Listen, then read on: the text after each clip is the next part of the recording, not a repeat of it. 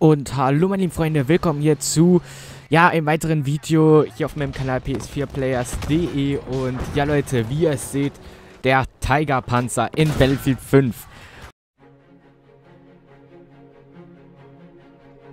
Und ja, ich habe nicht ohne Grund jetzt diesen Tiger Panzer und das Gameplay hier im Hintergrund und der Titel, ja, Panzer fahren und sowas.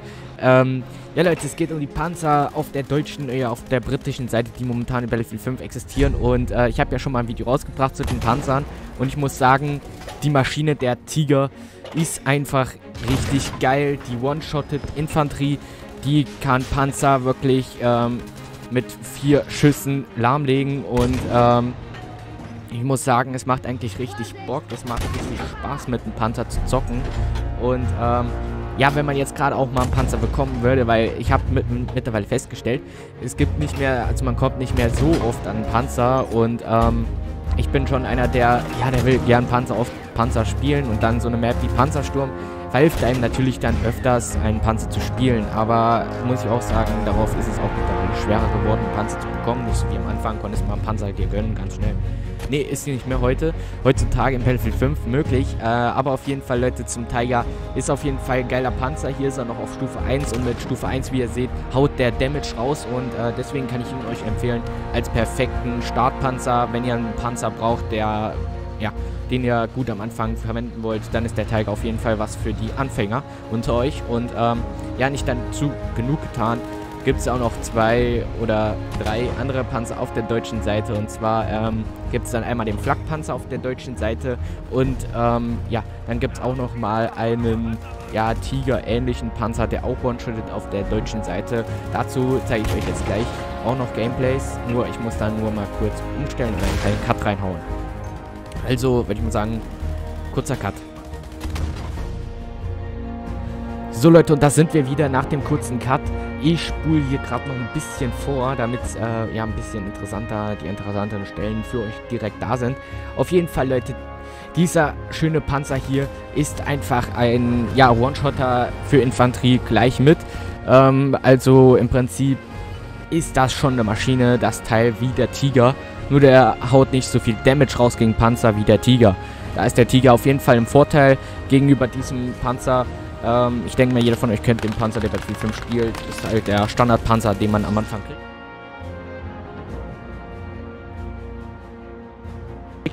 Ähm, muss sagen, ist eigentlich ein cooles Teil. Mir macht es Spaß, wenn ich dann, als ich damit angefangen habe zu spielen. Ich habe den sehr, sehr schnell, Leute, auf Level 4 gebracht. Also hier im Gameplay ist er nicht auf Level 4, aber ich habe den sehr, sehr verdammt schnell auf Level 4 gebracht. Beim Tiger ist es da schon, Tiger ist es da schon echt ein bisschen schwerer. Aber bei dem war es auf jeden Fall richtig easy, den auf äh, schnell voranzubringen, da er auch leichter und wendiger und schneller ist, im Gegensatz zum Tiger. Der Tiger ist schwerfälliger, langsamer auch und äh, haut aber dafür dementsprechend als Ausgleich mehr Damage raus. Und äh, ist natürlich auch ein bisschen stärker gepanzert, also den hier kannst du schon mit ein paar Panzerfäusten und so ein bisschen Dynamit in die Luft sprengen schnell. Ist halt wirklich ein bisschen nachteilig, benachteiligt bei dem Ding, aber dafür levelst du ihn schnell, kommst schnell durch gegnerische Linien mit ihm durch und er ist einfach ein wirklicher Panzerbrecher in dem Sinne. Also ähm, er ist wirklich ein Linienbrecher durch und durch. Der bricht durch die Linien durch, da können er gar nicht so schnell gucken. Und ja, ich muss sagen, macht einfach richtig Bock mit dem zu spielen. Äh, ich weiß jetzt nicht gerade, ob das hier das Gameplay ist, wo ich eigentlich nochmal eine richtig gute Killstreak hinlege. Äh, ja, ich spule nochmal ein bisschen vor. Vielleicht erwischen wir hier nochmal eine gute Stelle. Ähm, glaube aber eher nicht, dass es so ist. Äh, ja, okay, da ist nochmal gegnerischer Panzer und äh, ja, wie, wie gesagt, also er haut gut Damage raus, aber haut nicht so viel Damage raus wie gegen Panzer, wie man sieht. Also, ja, wie ihr seht, der hat noch viel Life übrig gehabt, der britische Panzer. Also, er ist wirklich nicht gerade der stärkste gegen Panzer, aber er ist auf jeden Fall ordentlich und gegen so normale leichte Panzer ist er auf jeden Fall äh, im Vorteil, klar. Der ist wirklich, eigentlich ist es der leichte Panzer auf der deutschen Seite, aber ähm, ja, eigentlich ist er der leichte Panzer auf der deutschen Seite, ähm, ist aber, ja, ich muss sagen, also er ist eigentlich so der mittlere Panzer auf der deutschen Seite. Äh, sorry, wenn ich, wenn ich jetzt für Verwirrung gestiftet habe, aber er ist eigentlich der mittlere Panzer auf der deutschen Seite. Ähm, das ist nämlich das Gegenstück zu dem Panzer, der mich eben gekillt hat. Und äh, ja, das ist halt dann ein bisschen, doof, weil er ist eigentlich so wie der leichte Panzer, ist aber trotzdem so mittlerer Panzer. Also ist ein bisschen, bisschen tricky bei dem. Auf jeden Fall, Leute, ähm, er ist gut für die Anfänger. Könnt ihr euch auf jeden Fall, könnt ihr mit dem spielen, wenn ihr den Tiger noch nicht freigeschaltet habt. Hatte ich zum Beispiel auch am Anfang das Problem, ich wusste nicht, welchen Panzer ich nehmen soll. Deswegen den Rat, Leute, nehmt diesen Panzer, der ist perfekt zum Einsteiger-Dasein und ähm, ja, wesentlich auch wendiger und äh, vielseitig einsetzbarer als der Tiger. Aber naja, dazu mehr auf jeden Fall. Leute, wir gehen dann jetzt kurz nach einem kurzen Cut zum nächsten über. Also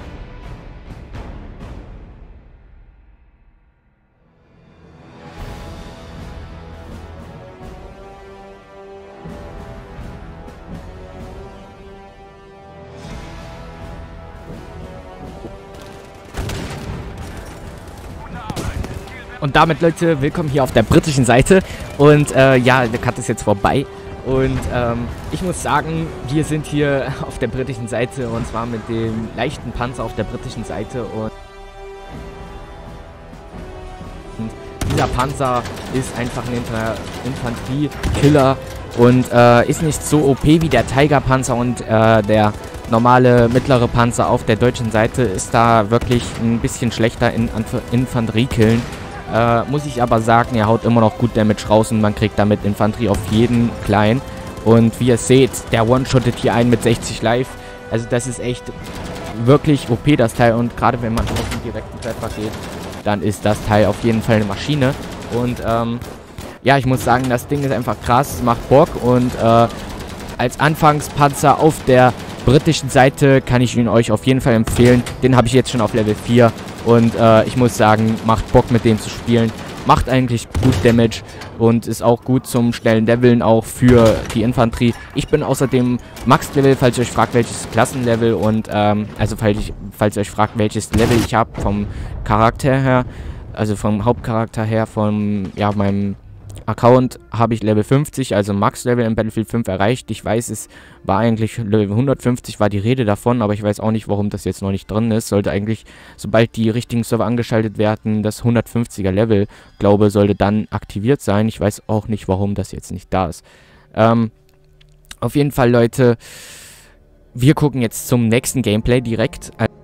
So, Leute, da sind wir wieder. Ähm, Ihr fragt euch sicher, warum ist jetzt ein Flugzeug-Gameplay hier? Äh, das liegt daran, dass ich kein Panzer-Gameplay mehr habe auf der britischen Seite, wo ich den mittleren und den schweren Panzer, den Churchill-Panzer habe. Äh, ebenfalls habe ich auch den einen Panzer nicht mit der Artilleriepanzer, den habe ich auch nicht, den man herbeirufen kann, kein Gameplay. Tut mir echt leid, aber ich bin hier auf der Konsole, wo ich, äh, also auf meiner letzten Konsole, die äh, ja kaputt ist. Ähm, dazu, Leute, sage ich euch aber in einem in meiner Roomtour Teil 2, die noch diese Woche erscheinen wird, ähm, ja, sage ich euch dazu mehr.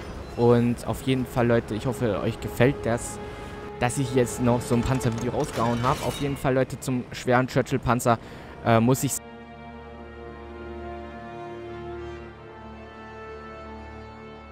sagen, zum schweren Panzer auf der britischen Seite muss ich sagen, ähm, wenn ich jetzt richtig im Kopf habe, er kann nur gerade ausschießen, ist dadurch sehr, sehr schwerfällig, ist dadurch sehr, sehr nicht kompakt. Ich wollte jetzt inkom inkom äh, inkompakt sagen, aber das gibt es ja nicht, das Wort. Äh, deswegen ist einfach sehr schlecht, um zu fahren überhaupt, also nicht weiter zu empfehlen. Genauso sieht es auch aus mit dem ähm, anderen Panzer, und zwar mit dem mittleren Panzer der ist natürlich da dem, äh, dementsprechend wendiger, der kann seinen Turm drehen und ähm, ist auch ein bisschen flexibler, aber ist auch ziemlich schwerfällig, ziemlich langsam, so wie der Tiger und deswegen ist er auch nicht zu empfehlen. Ähm, muss ich ehrlich sagen, ich habe damit gespielt und ich spiele auch mit dem immer so, dass ich den leveln kann, aber er ist echt scheiße zum Spielen, ehrlich gesagt. Und äh, da muss ich sagen, ist halt ein Panzer, den man einfach nicht weiterempfehlen kann als der, wenn jemand hier anfängt, also den kann ich dem definitiv nicht weiterempfehlen. Auf jeden Fall, Leute, kommen wir hier noch zum Flakpanzer, der auf der britischen Seite existiert.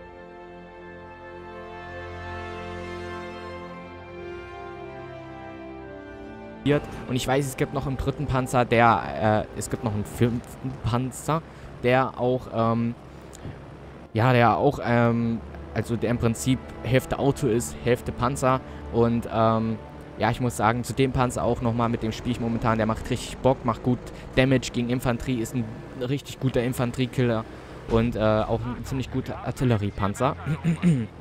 Weil ich habe damit auch ein bisschen gecampt und so. Und ich muss sagen, macht eigentlich richtig Bock, das Teil. Kann ich auf jeden Fall weiterempfehlen. Die Namen habe ich jetzt nicht im Kopf, also seid mir nicht böse. Deswegen sage ich mittlerer, schwerer und Artillerie und sonst was Panzer. Ähm, Artilleriepanzer gibt's, doch gibt's, ja. Ähm, das ist der, den man herbeirufen kann, falls jemand fragt. Also der schwere Panzer. Ich weiß, der hat einen anderen Namen. Ich glaube, der heißt Churchill-Panzer. Ich weiß es aber nicht genau, also seid mir nicht böse. Auf jeden Fall ähm, kommen wir noch zum Artilleriepanzer auf der britischen Seite. Dazu muss ich sagen, ist schlechter als der auf der deutschen Seite. Auf der deutschen Seite, Leute,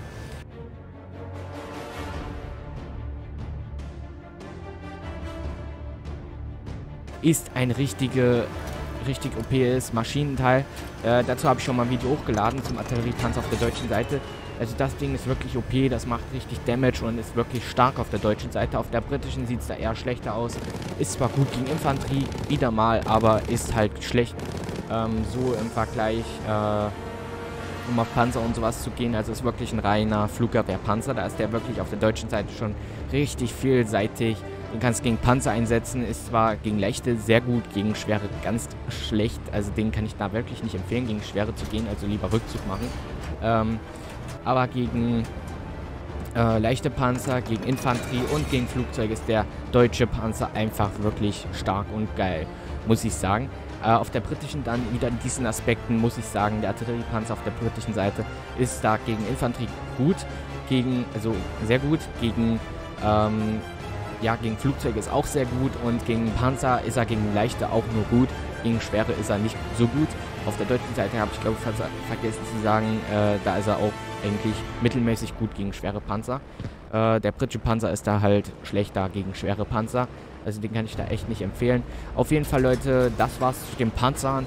Also, das war jetzt so zu den Panzern alles, was ich da erklären wollte. Waren jetzt ein paar Cuts drin, also ja, seid mir nicht böse. Ich habe es dafür für euch verkürzt und alles so versucht, möglichst kurz zusammenzufassen, alles kurz und schnell gut rüberzubringen. Ich hoffe, es hat euch gefallen. Wenn ja, lasst mal ein Like da. Ich hoffe, wir sehen uns dann im nächsten Video oder im nächsten Livestream wieder, Leute. Außerdem bin ich mittlerweile auf Twitch auch mehr aktiv. Hab dort schon mehrere Follower, zwei Stück.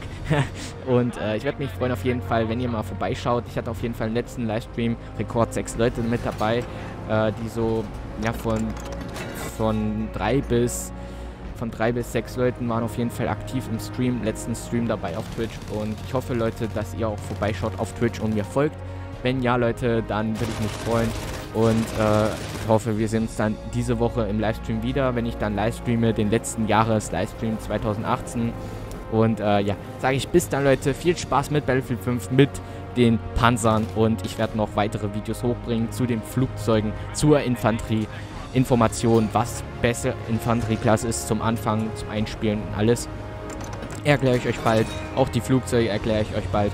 Da verweise ich dann euch auch nochmal später auf ähm, einen Freund, also einen bekannten YouTuber, der eigentlich der ziemlich gut ist und der auch ziemlich gut Sachen dazu erklärt zu Battlefield 5, zu Flugzeugen und allem drum und dran.